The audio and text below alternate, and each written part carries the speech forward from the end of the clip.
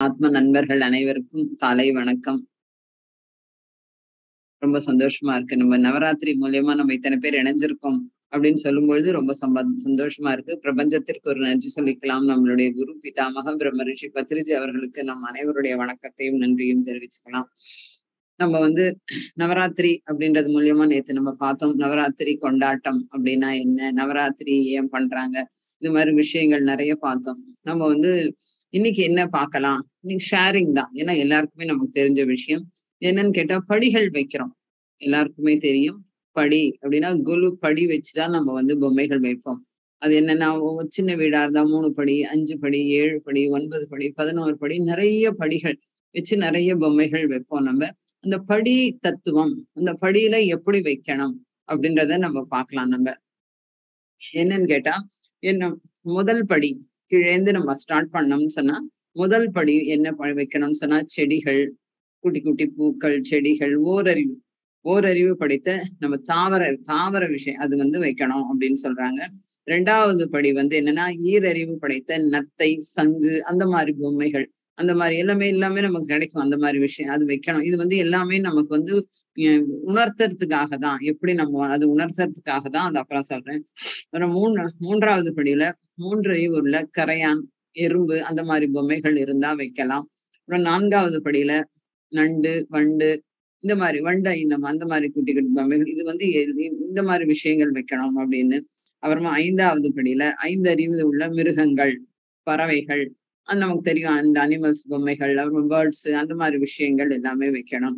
ஆறாவது படியில ஆறு அறிவு படித்த மனித பொம்மைகள் அப்படின்றாங்க. ஏழாவது ஏழாவது படியில என்னன்னு கேட்டா மனித நிலையிலிருந்து உயர் உயர்வடைந்த உயர்நிலையை அடைந்த சித்தர்கள் ரிஷிகள் ரமணர் அப்புறமா வள்ளலார் அந்த மாதிரி பொம்மைகள் வைக்கணும் அப்படின்னு. எட்டாவது படியில என்னன்னா சித்த தேவர்கள் அஷ்டதிக் பாலர்கள் நவகிரக குரு நவகிரக நாயகர்கள் அப்படி அதிபதிகள் நவரக நவகிரக அதிபதிகள் அப்படி வைக்கலாம் அப்படின்னு. ஒன்பதாவது படியில பிரம்மா விஷ்ணு சிவன் இவர்களுடன் இவர்களுடைய சிவன் பார்வதி அந்த மாதிரி அந்த அவங்களோட அந்தந்த இவங்களோட வைக்கணும் அந்தந்த தேவதைகளோட கூட இருக்கிறவங்களோட வைக்கணும் அப்படின்றாங்க. இது என்ன? தத்துவம் என்ன? அப்படின்னு சொன்னா நம்ம வந்ததுமே நமக்கு வந்து கீழேந்து தான் வந்தோம்? முதல்ல பிளான் கிங்டம்ல வந்தோம் அப்புறம் அனிமல் கிங்டம்ல வந்தோம். அந்த மாதிரி ஒவ்வொரு விஷயங்களும் நம்ம என்னன்னு கேட்டா நம்ம படிப்படியாக உயர்ந்து அந்த கீழ்நிலையிலிருந்து படிப்படியாக ஒன்பதாவது படிகளுக்கு போகும்பொழுது என்னன்னா பரமான்ம நிலை இந்த நிர்குணம். அந்த மாதிரிதான் நம்மளும் ஆகணும். அந்த மாதிரிதான் வந்திருக்கோம். ஆனா நம்ம மனித நிலையிலிருந்து அடுத்தடுத்து மாறி இருக்கிறோமா அந்த பரமான்ம நிலையை நமக்கு வந்து கொண்டிருக்கிறோமா? அப்படி உணர்த்துவதற்காகத்தான் இந்த படி தத்துவம் அப்படின்னு சொல்லிட்டு.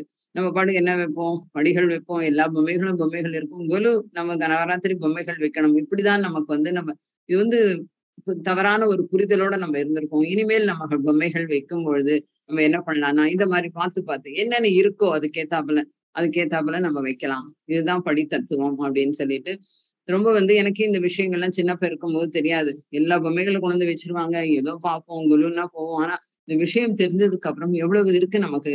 கீழேந்து நம்ம மேல வந்திருக்கோம். அந்த பரமான்ம நிலைவை அடையணும் அப்படின்னு சொன்னா நிறைய தியானம் பண்ணணும். அதுவும் இந்த நவராத்திரி காலத்துல அந்த தியானம் வந்து அவ்வளவு சக்தி.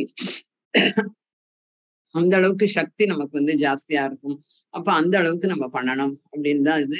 நேத்து நம்ம என்ன பார்த்தோம்னா பாலா திருப்புர சுந்தரி பார்த்தோம் நம்ம இன்னைக்கு என்ன நம்ம பார்க்கணும்? பாலா திருப்புர சுந்தரி அப்படின்னு சொன்னா என்னன்னு பார்த்தோம்னா குழந்தையில இருந்தே அந்த பவர் அந்த தியானத்தோட பவர் அந்த பெண் குழந்தைகள் அப்படின்னு சொல்லும் பொழுது எவ்வளவு நம்ம ஒதுக்கி வச்சிருந்தாங்க அந்த காலகட்டத்துல.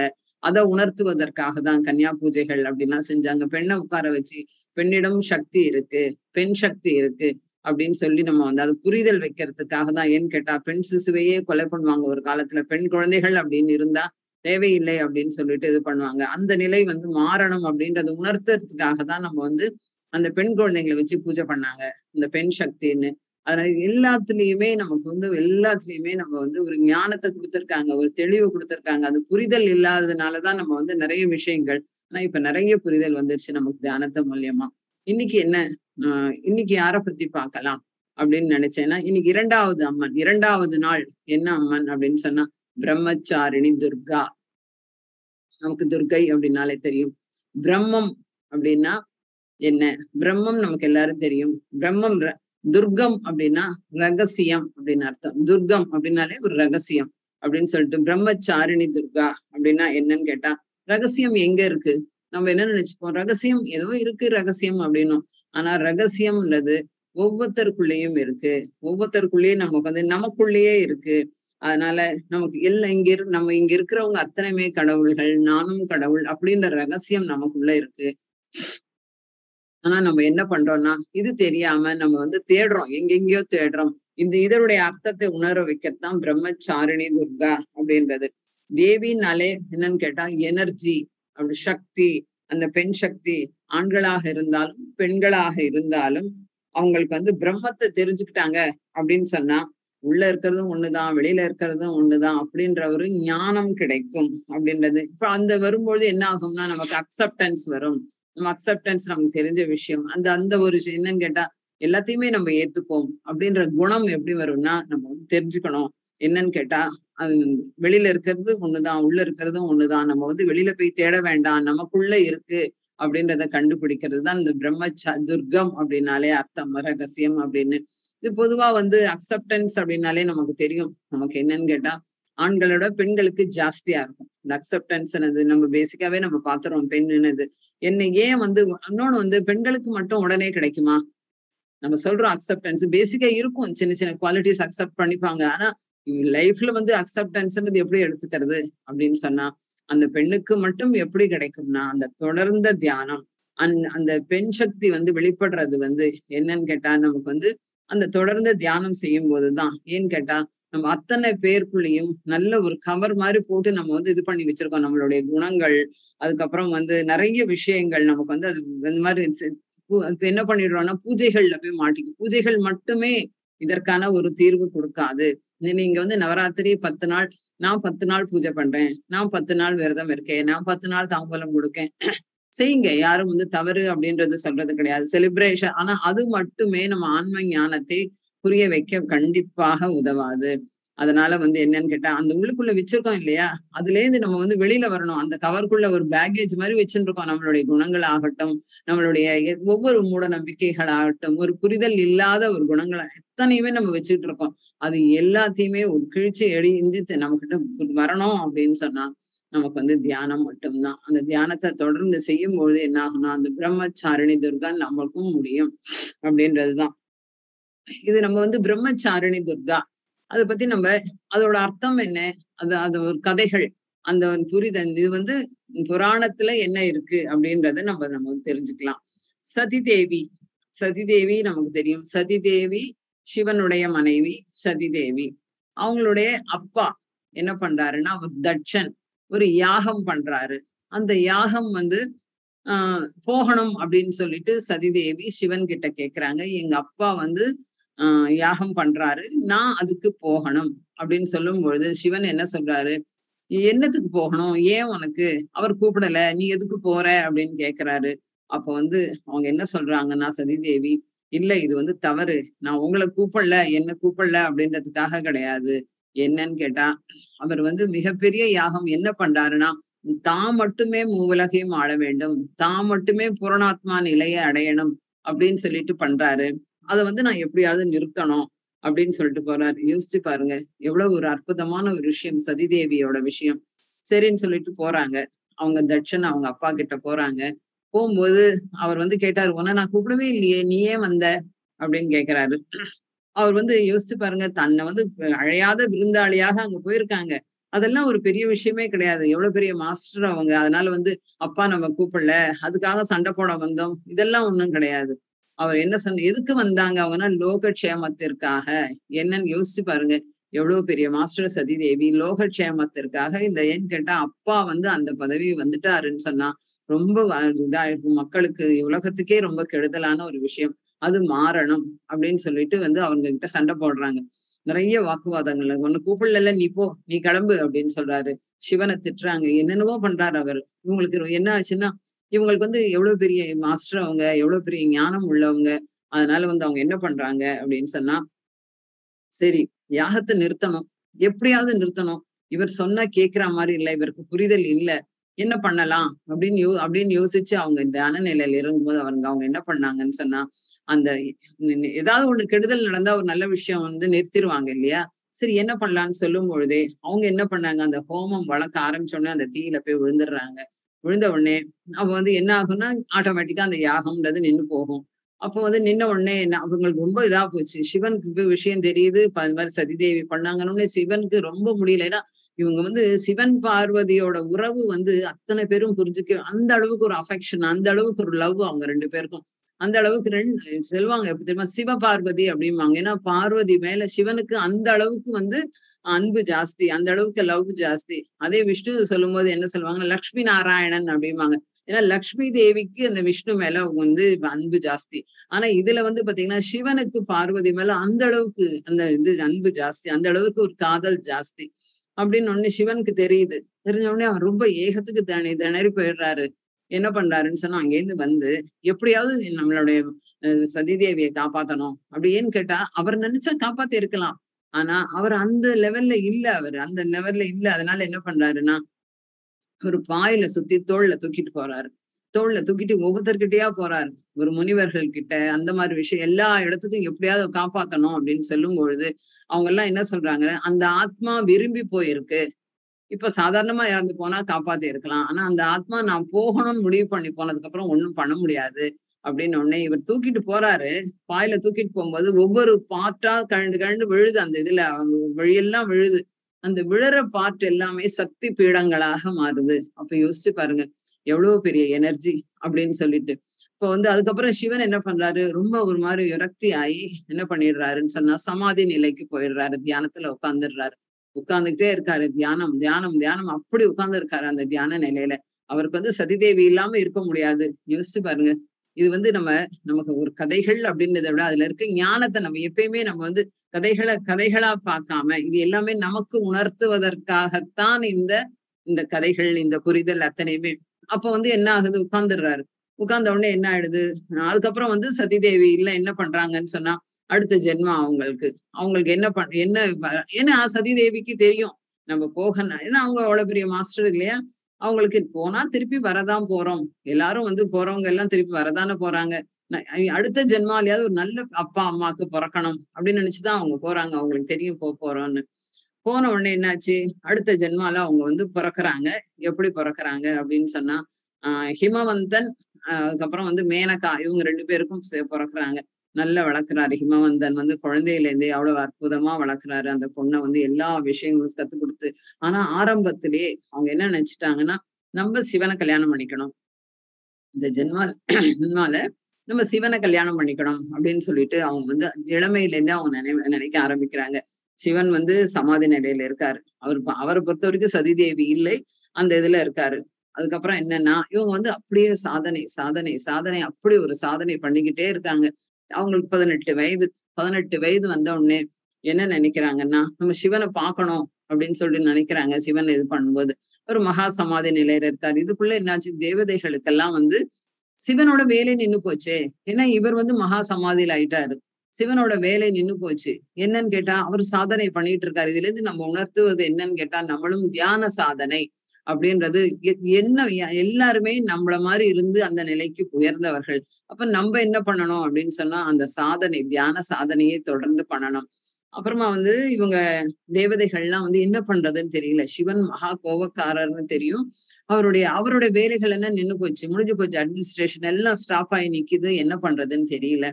அப்ப வந்து என்ன பண்றாங்க அப்படின்னு சொன்னா எப்படியாவது வந்து ஆஹ் அந்த சிவனை இது பண்ணணும் அப்படின்னு சொல்லும் பொழுது என்ன பண்றாருன்னு சொன்னா பார்வதி அவங்க தெரிஞ்சு போச்சு. அப்ப வந்து ஒரு அரக்கன் அந்த அரக்கன் என்ன சொல்றாருன்னு சொ- என்ன பண்றாருன்னா அவன் ஆட்சி புரிய ஆரம்பிச்சுட்டான். அவன் வந்து என்ன பண்றான்னு சொன்னா என்னடா வந்து அசுரர் ஆட்சி அந்த மாதிரி ரொம்ப மோசமான ஒரு இதா இருக்கான். அப்ப தாரகாசுரன் அப்படின்ற அந்த அரக்கன். அவன் பண்ண உடனே இவனோட அவனுக்கு என்னன்னா பிரம்மாவை பார்க்கணும்? இந்த கதை இப்படி இருக்கட்டும் நடுவுல இது. பிரம்மாவை பார்க்கணும் அப்படின்னு சொல்லிட்டு அவன் வந்து முயற்சி பண்ணி நிறைய கடுமையான தவம் கடுமையான விஷயம் இருக்கும் பொழுது பிரம்மா வராரு. சரி என்ன வேணும்? பார்த்தாச்சு உனக்கு என்ன வேணும்? கேளு அப்படின்னு கேட்டா நான் சாகாம இருக்கணும் அப்படின்னாரு. இது வாய்ப்பு இல்லை. ஏன்னு கேட்டா வந்தவங்க எல்லாம் போய்தான் ஆகணும் அப்படின்னு. அப்ப வந்து அவருக்கு என்ன தோணுச்சுன்னா அவனுக்கு அவன் ராட்சசன் இல்லையா? அவனுக்கு ஒரு கன்னிங் என்ன தோணுச்சுன்னா சரி நான் வந்து யாரும் என்ன கொல்லக்கூடாது. அட் த சேம் டைம் நான் வந்து சிவனோட பசங்க யார் மூலியமாவது எனக்கு சாவு வரட்டும் அப்படின்றான். ஏன்னு கேட்டா அவன் என்ன நினைச்சிட்டான்? சிவன் வந்து மகா சமாதியில இருக்காரு. ஒரு சாதாரண இந்த புத்தி தானே அவனுக்கு. அவன் என்ன சொல்றான்னா ஆஹ் சிவன் வந்து மகா சமாதியில அவர் எழுந்து இனிமேல் நம்ம கல்யாணம் பண்ணிக்க போறதுல குழந்தை கிடையாது. அதனால இது நமக்கு இறப்பு இல்லை அப்படின்றத முடிவு பண்ணான். அதனால அவனுடைய ஆட்சி வந்து ரொம்ப மோசமாக மோ- மோ- ரொம்ப அவனுடைய அட்டகாசம் ஜாஸ்தியா இருந்தது. அப்ப வந்து என்னாச்சு? என்ன பண்ணணும் அப்படின்னு சொல்லும்பொழுது இவங்க எல்லாம் திணறி போய் சிவனை எப்படியாவது அவனுடைய தவத்தை கலைக்கணும். சரி சிவன் கல்யாணம் பண்ணிக்கிட்டா தானே அப்படின்னு சொல்லும்பொழுது பார்வதியை நினைச்சு அவங்க சொன்னாங்க உன் நீக்கு வந்து நீ கல்யாணம் பண்ணிட்டு குழந்தைன்னு இருந்ததுன்னா இந்த இந்த தாரகாசுரனை அழிச்சிடலாம். அப்படின்னு சொல்லும் பொழுது எப்படி கலைக்கிறது? சிவன் கு- கோவக்காரன் தெரியும். என்ன பண்ணிட்டாங்க? மன்மதன் கிட்ட போய் கேக்குறாங்க.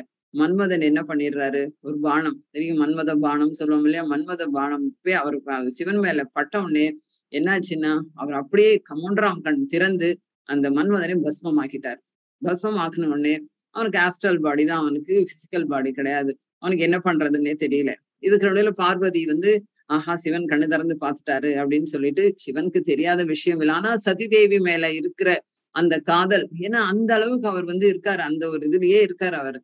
அப்ப வந்து இவங்க வந்து இல்ல எப்படியாவது கல்யாணம் பண்ணிக்கணும். அப்படி இப்படின்னு த- நிறைய பண்றாங்க. இவங்களும் தியானம் நிறைய பண்றாங்க. இது என்ன சரின்னா இந்த பிரம்மச்சாரிணி துர்கா வந்து நமக்கு உணர்த்துவது என்ன? அப்படின்னு சொன்னா சாதனை. என்ன சாதனை ஏன்னு கேட்டா அந்த லெவலுக்கு முடியும் அப்படின்னு சொல்லிட்டு. சிவனோட சிவன் வந்து இந்த அளவு இப்படி இருக்க இந்த அளவுக்கு இருக்கிறாரு. பார்வதியோட லெவல் இவ்வளவுதான் இருக்கு. இந்த அளவுக்கு மாறினாதான் உங்களுக்கு ஒரு பூரணத்துவம் கிடைக்கும். சிவனோட ஐக்கியமாக முடியும். அதனால இவங்க என்ன பண்றாங்க? சாதனை நிறைய பண்றாங்க. நிறைய பண்ணும் பொழுது என்னன்னு கேட்டா ஐநூறு வருடம் யோசிச்சு பாருங்க. ஐநூறு வருடம். ஆனா நம்ம பூலோக கணக்கும் அந்த அந்த தேவ அந்த கணக்கு வேற அது. அதனால ஐநூறு வருடம் பண்றாங்க. சாதனை சாதனை சாதனை. இதுல இருந்து நம்ம என்ன தெரிஞ்சுக்கணும்னு சொன்னா எல்லாத்துக்குமே ஒரு சாதனை அப்படின்றது. எந்த ஒரு விஷயமே நம்ம வந்து ஒரு கோல் செட் பண்ணிட்டோம் அப்படின்னு சொன்னா ஒரே ஒரு விஷயம். நம்ம வந்து ஒரு கிரிக்கெட் பிளேயர் ஆகணும் அப்படின்னு சொன்னா நீங்க ஒரு நாள் ரெண்டு நாள் பிராக்டிஸ் பண்ண ஆக முடியுமா? ஒரு சச்சின் டெண்டுல்கரோ இன்னொரு தோனியோ இன்னைக்கு வேர்ல்ட் லெவல்ல இருக்கிறாங்க இந்தியன் டீம்ல இருக்காங்கன்னா எப்படி இருந்தாங்க? அவங்களுடைய சாதனை. அது மாதிரி ஒவ்வொன்றுத்துக்குமே சாதனை வேணும். நல்ல ஒரு ஐஐடியில படிக்கணும். நான் வந்து ஃபாரின் போய் படிக்கணும் அப்படின்னா அந்த சாதனை அந்த படிச்சாதான் நம்ம போக முடியும். ஒரு பெரிய எம் எஸ் சுப்பலட்சுமியோ மத்த இப்ப நித்யஸ்ரீயோ எடுத்துக்கோங்க. இவ்வளவு பெரிய சிங்கரா இருக்காங்க அப்படின்னு சொன்னா அவங்க எவ்வளவு உழைச்சிருப்பாங்க செவன் ஹவர்ஸ் எயிட் ஹவர்ஸ் பாட்டு ப்ராக்டிஸ் பண்ணணும் அப்படின்னு சொல்லுவாங்க. அந்த மாதிரி எல்லாத்துக்குமே சாதனைன்னு வரும்பொழுது நம்மளும் இந்த தியான சாதனை இந்த தியான நவராத்திரி இந்த நவராத்திரியில நம்ம கத்துக்க வேண்டியது என்ன அப்படின்னு சொன்னா தியானம் நிறைய பண்ணி பண்ணி பண்ணி என்னன்னா அந்த தியான சக்தியை நம்ம பெருக்கிக்கணும் அப்படின்னு தான் சொல்றாரு. அதனால வந்து என்ன ஆச்சுன்னா நிறைய நாள் நிறைய நாள் தொடர்ந்து அவங்க தியானம் பண்றாங்க. தொடர்ந்து தியானம் வந்து பதினோரு வருடம் அப்படி பண்ணும்பொழுது சிவன் வந்து கண்ணு திறக்கிறாரு. அதுதான் வந்து என்னன்னு கேட்டா இந்த இந்த இந்த அளவுக்கு வந்துட்டாங்க. அதுதான் அர்த்தநாரீஸ்வர தத்துவம் அப்படின்னு சொல்றது. அவங்க வந்து சிவன் கிட்ட சொல்றாங்க. ஆனா சிவன் வந்து அந்த சதிதேவி இதுலயே இருக்கிறாரு. என்னன்னு கேட்டா ஆஹ் உன்ன முடியாது. இது வந்து நீ வந்து என்ன வந்து நான் எனக்கு வந்து நான் ரொம்ப நல்லவன் கிடையாது. இது மாதிரி நிறைய சொல்றாரு. நீ எப்படி இருந்தாலும் எனக்கு வேணும். நீ இதேதான் திருப்பி திருப்பி அவங்க சொல்றாங்க. என்னன்னு கேட்டா அந்த எப்படியாவது என்னன்னு கேட்டா நம்ம வந்து இது பண்ணிடணும். நம்ம வந்து உம் சிவனை அடையணும். அவங்களுக்கு இந்த ஜென்மால இது இவ்வளவுதான். சிவனை அடையணும் அப்படின்னு சொல்லி தொடர்ந்து தொடர்ந்து தொடர்ந்து அவங்க வந்து இந்த தியான சாதனை திருப்பி உட்கார்றாங்க தியானத்துல திருப்பி அப்பெல்லாம் தவம் அப்படிம்பாங்க தபஸ் அப்படிம்பாங்க உட்கார்றாங்க. அந்த சாதனை ஐநூறு வருடம் தொடர்ந்து சாதனை தொடர்ந்து சாதனை. ஆனா சிவன் வந்து இதே பண்ணவே இல்லை ஒத்துக்கவே இல்லை. ஏன்னா சிவனுக்கு சிவனுக்கு இது எல்லாமே வந்து நம்ம டைரக்டா இது ஒரு அர்த்தம்ன்றது இல்லாம இந்த எதுக்காக உணர்த்தணும் பிரம்மச்சாரிணி துர்கா அப்படின்னு சொல்றது இந்த அதுதான் அவங்க அவங்களோட இது. அந்த சாதனை பண்ணதுனால அவங்களுக்கு வந்து பிரம்மச்சாரிணி துர்கா அப்படின்ற வந்தது. இதுல இருந்து நம்ம வந்து என்னன்னு கேட்டா ச- சிவனோட சைத்தன்யத்துல இணைஞ்சிடணும் அப்படின்ற ஒரு சபதம் வந்து அவங்க வந்து எடுத்ததுனால அந்த சாதனையை ரொம்ப பண்ணாங்க. இது வந்து என்ன நம்ம யோசிச்சு பாருங்க இதுல இருந்து நம்ம வந்து புரிஞ்சுக்கிறது. இதனால அவங்க வந்து அவ்வளவு சாதனை புரிஞ்சு கடைசியில இறைவனை அடைந்தாங்க. இதெல்லாம் கதைகள் உண்டு. இதுல இருந்து நம்ம தெரிஞ்சுக்க வேண்டியது என்ன அப்படின்னு கேட்டா யோசிச்சு பாருங்க. சதிதேவி மரணம் அப்படின்றது எதுக்காக? அவங்க இருந்திருக்கலாமே. அவங்க சுகமா வந்து இருந்திருக்கலாம். சிவனோட நமக்கு தெரியாத விஷயம் இல்ல. ரொம்ப இதா இருந்திருக்கலாம். ஆனா அவங்க என்ன பண்ணாங்கன்னு சொன்னா நம்ம வந்து அந்த லோக கல்யாணத்திற்காக அவங்க வந்து மரணம் இருந்தது. அதே மாதிரி அந்த சிவபார்வதியோட அன்பு அந்த காதல் இதெல்லாமே நமக்கு எப்படி இருக்குன்னா நம்மளும் அப்படி இருக்கணும். யூஸ் அந்த மாதிரி இருக்கணும் அப்படின்றதுக்காக தான். நம்ம என்ன பண்ணுவோம்? ஆஹா நான் ரொம்ப நான் ரொம்ப நான் ரொம்ப இதா இருக்கேன். நான் எனக்கும் எங்க ஹஸ்பண்ட் எங்க ஃபேமிலி நான் ரொம்ப லவ் அஃபெக்ஷன் ஒரே ஒரு வார்த்தை சொல்லிட்டோம்னா போச்சு. எங்க வீட்டுக்கார் சரியே இல்ல என் ஒய்ஃப் சரியே இல்ல அப்படின்றவோம் இது வந்து அந்த மாதிரி விஷயங்கள் எல்லாமே அந்த அக்செப்டன்ஸ் வந்து விட்டு கொடுக்கிற மனப்பான்மை வந்து அத இதெல்லாம் புரிய வைக்கிறதுக்காக தான் இந்த கதை அப்படின்னு. அப்ப வந்து என்ன ஆகும்னு சொன்னா லோக கல்யாணத்திற்காக அப்படின் போது நம்ம தியானம் வந்து பரவணும். தியானத்திற்காக நம்ம வைக்கிற கோல் வந்து பாத்தீங்கன்னா ஹை லெவல்ல வைக்கணும். இந்த அதுவும் இந்த நவராத்திரி டயத்துல வர்றவங்க அத்தனை பேரையும் உட்கார வச்சு நம்ம தியானம் பண்ணுவோம். நிறைய தியானம் பண்ணும் பொழுது நமக்கு அந்த பத்து நாள் பத்து நாள் இந்த சக்தி இந்த சக்தி ஸ்வரூபமாக அந்த அத்தனை பேரும் நமக்கு ஹெல்ப் பண்ண காத்துக்கிட்டு இருக்காங்க. அத்தனை சீனியர் மாஸ்டர்ஸ் அவங்க எல்லாம் மிகப்பெரிய மாஸ்டர்ஸ் அவங்க எல்லாருமே நம்ம என்ன நினைச்சிடும் பூஜை பண்ணணும் பிரசாதம் வைக்கணும். நம்ம அந்த சிவனை வந்து அந்த நிலையில பார்க்காம சிவனுக்கு என்ன அலங்காரம் பண்ணும்? அம்மனுக்கு என்ன அலங்காரம் பண்ணும்? என்ன நகை போட்டோம் அவங்களுக்கு? என்ன பிரசாதம் வைக்கலாம்? வடை வைக்கலாமா? பாயசம் வைக்கலாம்? வச்சுக்கோங்க. எல்லாம் நம்ம தான் சாப்பிட போறோம். சிவனோ பார்வதியோ வந்து சாப்பிட போறது இல்லை அந்த மாதிரி நோக்கங்களுக்குள்ளேயே நம்ம போயிட்டு இருக்கோம் அந்த மாதிரி விஷயங்கள் எல்லாமே மாறணும். இதுதான் நிறைய பேர் வருவாங்களா? வருவாங்க எல்லாரும் நவராத்திரிக்கு. வந்த உடனே நம்ம சொல்லுவோம். நம்ம ஒரு பத்து நிமிஷம் கண்ண மூடி இந்த இதோட நீங்க கனெக்ட் ஆயிடுங்க அப்படின்னு நம்ம புரிய வைப்போம். இது வந்து இதுதான் லோக கல்யாணத்திற்காக நம்ம சதிதேவி பண்ணதை நமக்கு கத்துக்கணும் அப்படின்னு சொல்லிட்டு. அதுக்கப்புறம் வந்து சதிதேவி இது என்ன பண்ணாங்கன்னு கேட்டா என்ன? அப்படின்னு கேட்டா தெரியும். அவங்களுக்கு வந்து நம்ம போகதான் போறோம். போனா திருப்பி வரதான் போறோம். இது என்ன சொல் இது எதை உணர்த்தறதுக்குன்னு சொன்னா புனர்ஜென்ம சித்தாந்தம். ஏன்னு கேட்டா புனரபி ஜனனம் புனரபி மரணம் திருப்பி வர அடுத்த இது வரதான் போறோம் அப்படின்னு சொல்லிட்டு. ஆனா இன்னொன்னு இதுல இருந்து புரியறது என்னன்னு கேட்டா நம்ம வந்து எப்பயுமே அந்த ஹை எனர்ஜில நம்ம இருந்தோம் அப்படின்னு சொன்னா நம்ம அந்த பரமான்ம நிலையில இருந்தோம்னு சொன்னா நம்ம மரணிக்கும் பொழுது நம்ம வந்து என்ன தெரிஞ்சுட்டோம் என்ன கத்துக்கிட்டோம் அப்படின்ற அந்த ஒரு ஹை லெவல்லயே நம்ம இருந்தோம்னா நமக்கு அடுத்த ஜென்மான்றது அதே மாதிரி வரும். ஏன் இல்லைன்னா நம்ம எப்ப பாரு வாழ்க்கையில ஒரு சலிப்பு ஏதோ ஒரு எதுக்கு எடுத்தாலும் ஒரு கர்மா கர்மா கர்மான்றது அப்படின்றது என்னன்னு கேட்டா ஒரு நம்ம எது எது பால்காரன் வரலன்னா ஐயோ இந்த கர்மா இந்த பால்காரன் பாரு இப்ப பாரு என்னோட இது அப்படின்னு பக்கத்து வீட்டுக்காரங்க சண்டை போட்டா இதெல்லாம் கர்மா கிடையாது. பக்கத்து வீட்டுக்காரங்க சண்டை போட்டா நம்ம கதவை சாத்தினா சரியா போச்சு. ஆனா கர்மான்றது என்ன அப்படின்னு கேட்டா ஒரு ஹஸ்பண்ட் ஒரு ஹஸ்பண்ட் வந்து ஒரு குடிகாரரா இருக்காரு. போட்டு அந்த ஒய்ஃப் அடிக்கிறாரு. இது மாதிரி விஷயங்கள் தான் நம்மளுடைய கர்மா அதுக்குதான் என்ன பண்ணணும்? நான் நம்ம போன ஜென்மால என்ன பண்ணோம்? இதனாலதான். அப்ப இந்த வாட்டி நிறைய தியானம் பண்ணணும் அப்படின்னு சொல்லிட்டு ஒவ்வொரு விஷயங்களும் நம்ம வந்து நம்ம அதுல இருந்து புரிச்சுக்கணும் அப்படின்றாரு. தாரகாசுரனோட கதையில வந்து என்ன தெரிஞ்சுக்கிறோம் அப்படின்னு சொன்னா அவன் நினைச்சான் அவனோட ஈர புத்தி என்னன்னு நினைச்சா மூவலகையும் நம்ம ஆற்றுவோம் பூர்ணாத்மா அவர் நிலையில நம்ம வந்து இது பண்ணிடலாம். பூர்ணாத்மா நிலைக்கு நான் தான் போகணும். அப்படிலாம் வந்து தாரகாசுரன் ஒரு ராட்சசன். தன்னை தான் பிரம்மா கிட்ட எனக்கு சாவே வரக்கூடாது. எப்பயுமே யூனிவர்ஸ் வந்து நம்ம ஒரு அடி எடுத்து வச்சா அது பத்தடி எடுத்து வைக்கும். பிரபஞ்சம் சாதாரண விஷயம் கிடையாது. இதுல இருந்து நம்ம உணர்த்துவது என்னன்னு கேட்டா நம்ம ஒரு பத் நம்ம வந்து என்னன்னு கேட்டா எல்லாமே யூனிவர்ஸ்க்கு வந்து நல்லது எது கெட்டது இதெல்லாம் தெரியாது. அதனால வந்து நம்ம நிறைய நம்ம தியானம் சொல்லி தரணும். நிறைய தியானத்துக்கு உருவாக்கணும். நம்ம வந்து பத்ரிஜி சொன்ன மாதிரி உலகமே பிர- இதா இருக்கும். சைவமா மாறணும். நிறைய இடத்துல பிரமிடு வரணும். இப்படி நம்ம ஹை லெவல் கோல் நம்ம வச்சுக்கிட்டோம்னு வச்சுக்கோங்க நமக்கு வந்து எல்லாமே சக்சஸ் ஆக மாறும். இதுதான் வந்து அது மாதிரி இன்னொன்னு வந்து என்னன்னு கேட்டா பிரபஞ்சம் வந்து இந்த மகா சமாதி இந்த தியானம் வந்து இது ஒரு முக்கியமான ஒரு விஷயம். தியானம் நிறைய நம்ம பண்ணும்பொழுது யாரையும் யாரையுமே டிஸ்டர்ப் பண்ணக்கூடாது. இது வந்து ஒரு பாவமான செயல் அப்படின்றார். எவ்வளவு கோபம் வந்தது இல்லையா? சிவனுக்கு வந்து எவ்வளவு கோபம் வந்தது? அந்த மாதிரி கோபங்கள் வந்து இது வந்து நிஜமான ஒரு விஷயம். ஏன்னு கேட்டா அதனால அந்த எந்த ஒரு குருமார்களும் நம்ம கிட்ட கனெக்ட் ஆக மாட்டாங்க. இன்னொன்னு வந்து நீ ரெடி அப்படின்னு சொன்னா குரு தேடி வருவாரு. நான் வந்து மனப்பூர்வமா ஆன்மபூர்வமா நான் வந்து ரெடின்னு சொல்லும் பொழுது அந்த அந்த குரு நம்ம கிட்ட தேடி வருவாரு அப்படின்றது. அதனால வந்து நம்ம அந்த தாரகாசுரன் கதையில நம்ம தெரிஞ்சுக்க வேண்டியது இதுதான். அதுக்கப்புறம் என்ன அப்படின்னு சொன்னா இந்த அளவுக்கு வந்து சைத்தன்யம் முன்னேறதுக்கு உணர்த்துறது என்னன்னு கேட்டா எது உன்னதமானதோ அந்த அளவுக்கு நம்ம சாதனை நம்ம தொடர்ந்து செஞ்சோம் அப்படின்னு சொன்னா நம்ம கிட்ட வரும். அது மாதிரி இன்னொன்னு வந்து சதிதேவி என்ன பார்வதி என்ன பண்ணாங்க? ஐநூறு வருடம். என்ன எத்தனை குணங்களையும் நம்ம அத்தனையும் காமம் கோதம் அத்தனை விஷயங்களையும் நம்ம விட்டு இது கண்ட்ரோல் பண்ணி அந்த சாதனையில இருந்தாங்க. நம்மளுமே அந்த சாதனை தான் செய்யணும். ஒரு பத்து நாள் செஞ்சோம். எனக்கு செட் இல்லப்பா. எனக்கு டைம் இல்லப்பா. எனக்கு தூக்கம் வருது. எனக்கு சீக்கிரம் எழுந்துக்கணும். எனக்கு வேலைகள் இருக்கு. நம்ம கு- முக்கியத்துவம் எதுக்கு கொடுக்குறோம்? நம்ம அதை வச்சு நம்ம தரத்தை வந்து நிர்ணயம் பண்ணலாம். என்ன கேட்டா நாம என்ன பண்றோம்? நமக்கு இருபத்தி நாலு மணி நேரம் நமக்கு இருபத்தி நாலு மணி நேரம் தான். பத்ரிஜிக்கு இருபத்தி நாலு மணி நேரம் தான் நரேந்திர மோடிஜிக்கும் இருபத்தி நாலு மணி நேரம் தான். ஆனா நம்மளால ஒரு வீடே பாத்துக்க முடியல வேலைகள் அப்படின்னு சொல்றது நம்ம மனசுல இருக்கு. இந்த மாதிரி விஷயங்கள் மாறணும் அப்படின்னு சொல்லி அப்படிதான் சொல்றாங்க.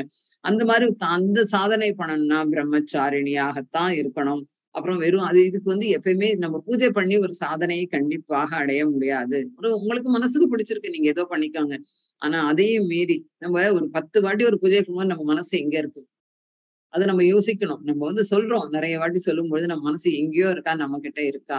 இதெல்லாமே புரிய வைக்கணும். நம்மளுடைய ஆன்ம பூர்வமாக நம்ம செய்யக்கூடிய விஷயங்கள் நல்ல விஷயங்களாக இருக்கணும் அப்படின்னு சொல்றாங்க. அப்படின்னா பிரம்மச்சாரிணினா என்ன? பக்தியுடன் ஸ்ரத்தையுடன் நம்பிக்கையுடன் அசுர சாதனை. அசுர சாதனைன்னா எவ்வளவு நேரம்? யார் யாருக்கு எவ்வளவு ஏன்னா நம்ம கிட்ட இருக்கு. நம்ம டைம் இல்லைன்றோம். நீ காத்தெல்லாம் அஞ்சு மணிக்கு எழுந்துப்பியா நீ நாலு மணிக்கு எழுந்துக்கோ. நீ ஒரு மணி நேரம் பண்ணு. நமக்கு தான் தெரியும் இல்லையா? நல்ல ஒரு மெடிடேஷன் ஒரு த்ரீ ஹவர்ஸ்க்கு உறக்கத்துக்கு மனசுதான் காரணம். நான் சீக்கிரம் எழுந்துட்டேன்ப்பா.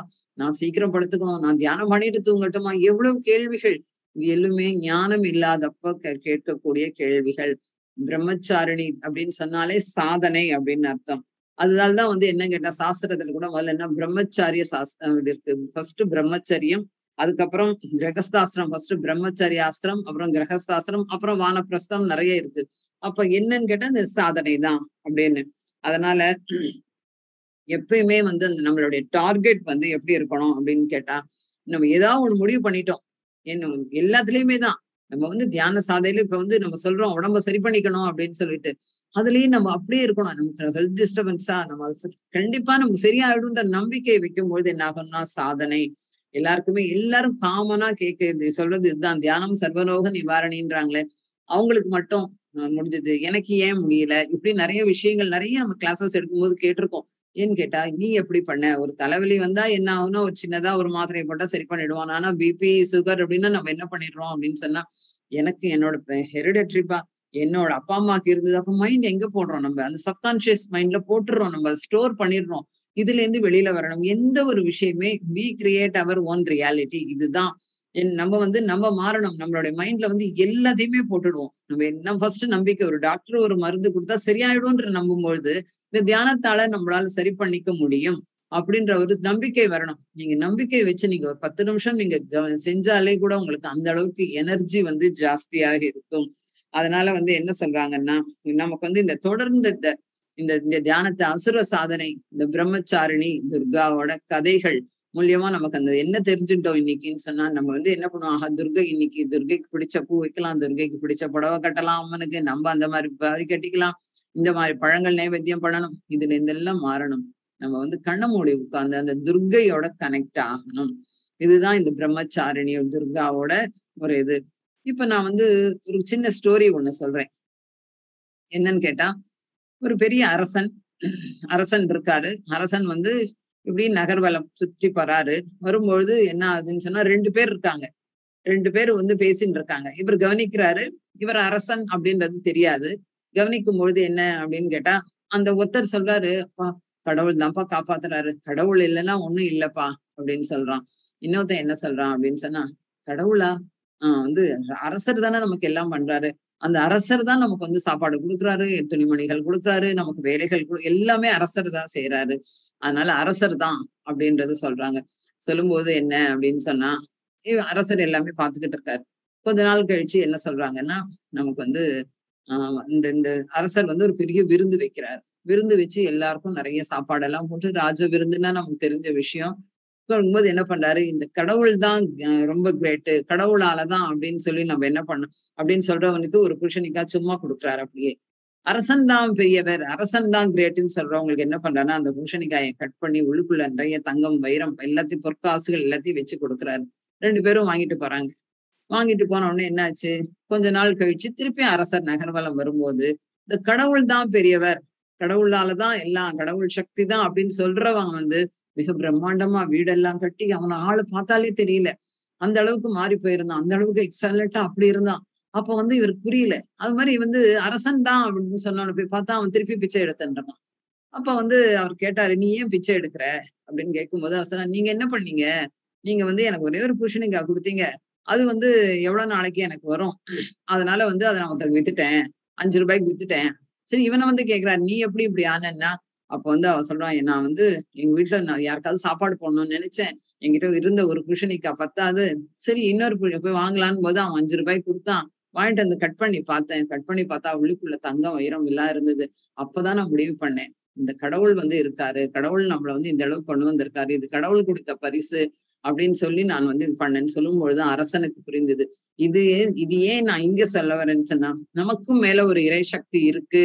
அப்படின்னு சொல்லி இந்த தியானத்தை நம்ம வந்து ஒரு நம்பிக்கையோட நம்ம தியானத்தை செய்யும் பொழுது அவர் என்ன நினைச்சா கடவுளோடதுதான் கடவுள் காப்பாத்துவாரு கடவுளோட இது அப்படின்னு அந்த அளவுக்கு ஒரு நம்புறான் கடவுள். அவன் பிச்சை எடுத்தா கூட அரசங்கிட்டன் போல.